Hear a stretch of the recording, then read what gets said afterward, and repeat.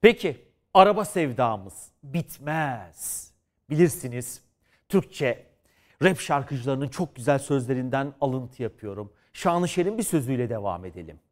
Arabalardan ve siyasetten bahsettiğinde kendini büyümüş zannedersin. Bir araba muhabbeti yapalım. Peki TOG'la sevindik ama orana baktığımızda biraz üzüleceğiz. Dört teker sevdamız. Efendim parametre belli. Şu habere günlerdir çalışıyorum ama en net veriye bugün ulaşabildik. Parametre şu. Avrupa Birliği'nde, Avrupa ülkeleri içinde her bin kişiye düşen otomobil sayısı. Kamyona, traktöre falan gitmeyin. Bildiğiniz binek otomobil. Her bin kişiye. Dünya bunu baz alıyor. Baktığınızda Avrupa Birliği ortalaması 562 adet. Bin kişiye Avrupa'da 562 otomobil düşüyor. Eh iyi rakam. Neredeyse iki kişiden biri. Almanya 575 adet tabii ki otomobilin ana vatanı. Diğer vatanı Fransa 570. İtalya onlar da çok güçlüdür biliyorsunuz işte markalarını 655. Bin kişiye düşen otomobil sayısı. Bir gelelim bize yaklaşalım şöyle. Yunanistan 489.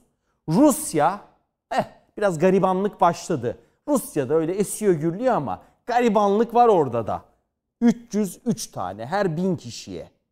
Ve Türkiye 161.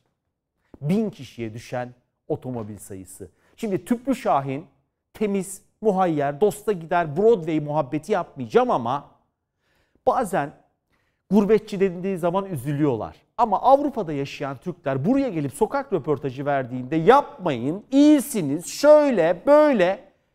Güzel amcam Almanya'ya selam olsun, Fransa'ya selam olsun, İsviçre'ye selam olsun. Çok iyi izliyorsunuz bu bülteni. Sizin orada bindiğiniz arabalara var ya, biz burada hayalini bile kuramıyoruz. Bence sarılın sarmalın o güzel arabalarınızı. Peki yaş ortalamamız ne? Yaş ortalamamız Türkiye'deki otomobillerin yaşı 13. 13 yaş ve üzeri. Biraz yaşlıyız değil mi? Arabalar bağlamında. E öyle. Yürüyeni iyi. İki parça boya var ama yürüyeni iyi merak etmeyin.